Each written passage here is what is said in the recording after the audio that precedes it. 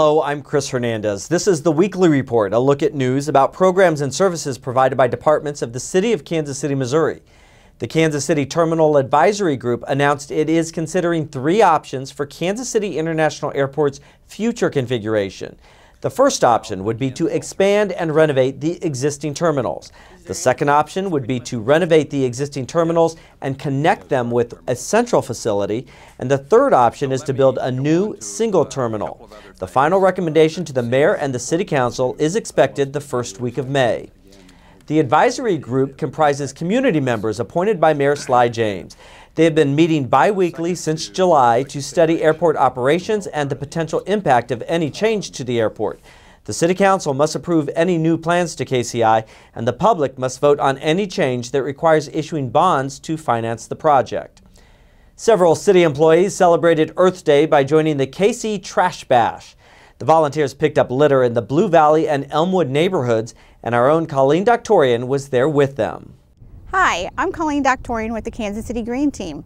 Today is Earth Day, and our Green Team is out with the residents here in the Blue Valley neighborhood picking up trash. We also have employees and residents picking up trash in the Elmwood neighborhood. Each year, the Kansas City Green Team sponsors an event to celebrate Earth Day. This year, we chose to partner with local neighborhoods to pick up trash to beautify them and make them feel more safe. Year to year, we sponsor different events like rain barrel workshops, building rain gardens, and touring different green facilities. So this year, we're out with the neighbors picking up trash and to make the city more beautiful. Residents are also encouraged to send us their own pictures for their litter cleanups in their neighborhoods at hashtag KCTrashBash or post them to our Facebook page. If you missed this year's Trash Bash, we always have lots of activities sponsored by the KC Green Team and our partner, Bridging the Gap. Check our Facebook page or our website at kcmo.gov. Thursday, April 24th was Take Your Daughters and Sons to Work Day. As part of it, we're turning over the newsroom to the kids.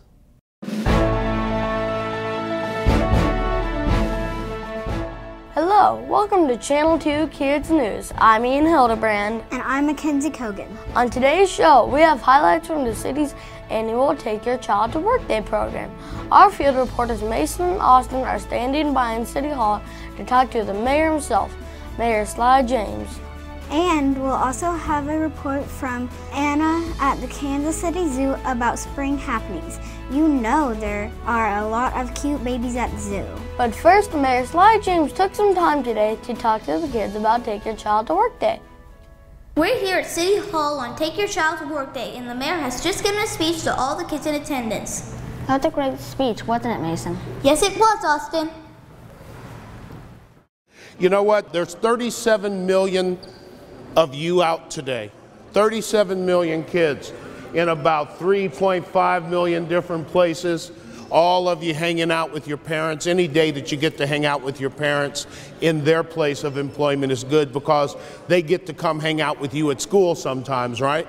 Everybody having a good time? Yeah. Are you really? Yes. All right, a couple of things I want you to do for me if you would, okay? First of all, everybody stand on your right foot and pick your left foot up off the ground. All right, now stand on your left foot and pick your right foot up off the ground. Right foot, left foot. Okay, I don't know what we're doing here. We're just having fun. But one thing you can do though is read a book today. Okay? Will everybody read a book today for us, please? Why is Take Your Child to Work Day important? Because it helps the, the child and the parent understand what each other's doing.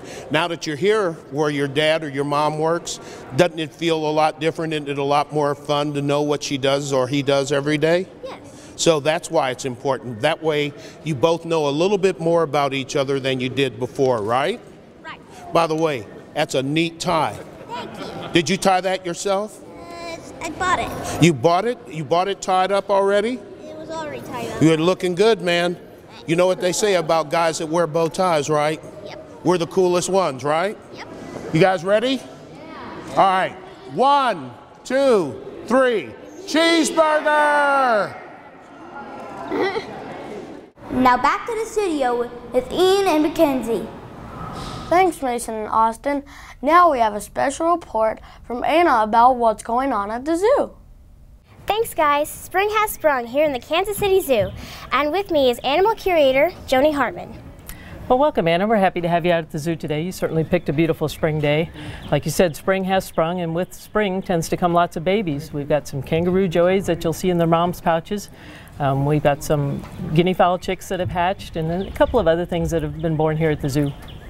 And tell us what we're looking at here. This is our Red River Hog exhibit. You can see we've got a family group of Red River Hogs. We've got mom and dad, and then we've got some four of them that were born last year here in this exhibit, so they're yearlings, and then we've got the three little ones that were just born March 24th. Well, I can tell which ones are the babies. They're really cute. But how can you tell a one-year-old hog from the parents? Well, if you look at the size difference, especially the faces, the, the male, the dad, he has kind of the warty growths on his face, kind of looks like a warthog. And he's also got the long hair on his ears, he's got the tufts on his ears. And he's just in general bigger than the others. And the mom is also bigger, so you can kind of tell by looking at the general size of them.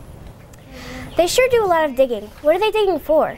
In the wild, they would be eating roots and tubers, so that's how they get their food. They dig under the ground and they look for those roots. They might pick up fruit off the ground. Here at the zoo, they don't have to, but that's kind of in their nature that that's what they do in the wild. You'll also notice we have wraps around the trees, we have wire around the trees. That's because they chew on the bark and they will destroy our trees if we don't protect them from them. Thanks, Joni, for taking your time and showing us these adorable piglets. Oh, you're certainly welcome, Anna. We're happy to have you out here. If you'd like more information at any time, you can just check out our website at kansascityzoo.org. And now back to you guys in the studio. Thanks, Anna. That does it for this edition of Channel 2 Kids News. I'm Ian Hildebrand. And I'm Mackenzie Kogan. And we're, we're out of here. here.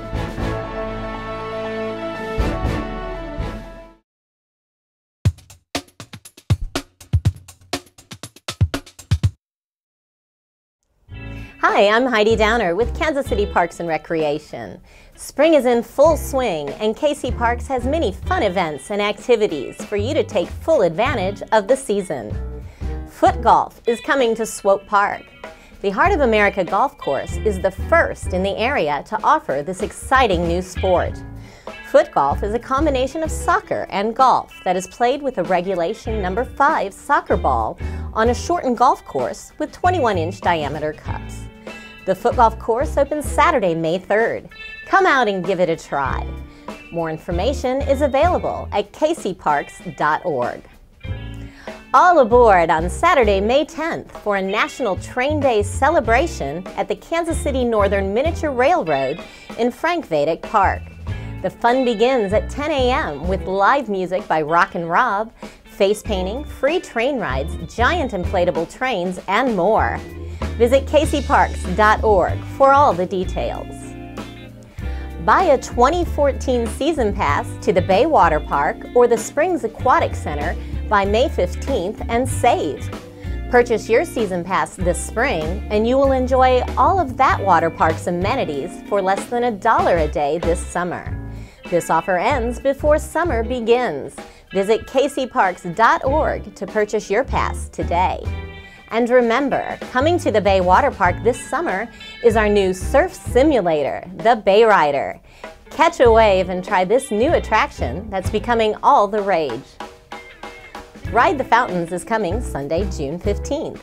Be sure to sign up for this annual bicycle tour to make sure you get a pair of commemorative cycling socks.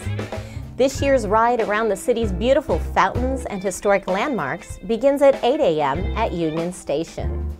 Plan to hang out following the ride for a festive party featuring live music, food, a photo booth, and more. Register now at ridethefountains.com. To learn about other Parks and Recreation events, visit the department's website at kcparks.org or give us a call at 816 513 7500. To make Kansas City a safer and more livable community, the city requires individuals who own vacant property to register that property each year with the city's Neighborhoods and Housing Services Department. Registration is due by May 31st and can be completed for free online at kcmo.gov/vacant or by calling 816-513-9010. If a code violation or crime takes place at that property, having it registered helps the city resolve the issue faster. The city's Rebuild KC Neighborhood Mini Grant Program is awarding grants of up to $3,500 to registered neighborhoods whose projects foster partnerships and build upon existing assets. Successful grant applicants will be required to provide a dollar for dollar matching contribution of volunteer labor, donated materials, and in kind services. For more information or to apply, visit kcmo.gov and search for Rebuild. For more information about any of today's stories, please log on to kcmo.gov and search for Weekly Report. That does it for this edition. I'm Chris Hernandez. Have a great week.